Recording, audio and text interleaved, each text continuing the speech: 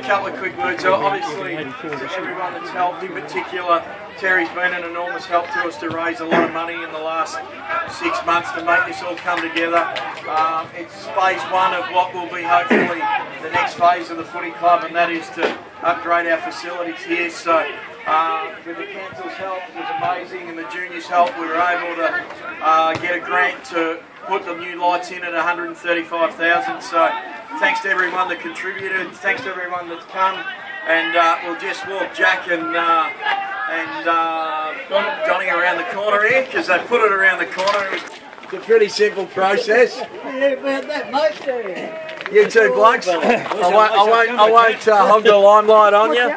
So it's just a matter of getting the hand up there simultaneously together and pulling it down. We'll get some photos. One, two, three. Smile for the camera, mate. Yeah, come on, Jack.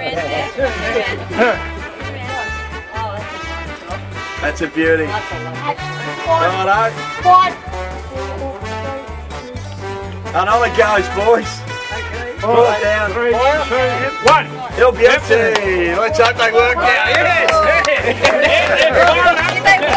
Yes, they did. Oh, Thanks for coming up, mate. Much appreciated. Our room didn't burn down.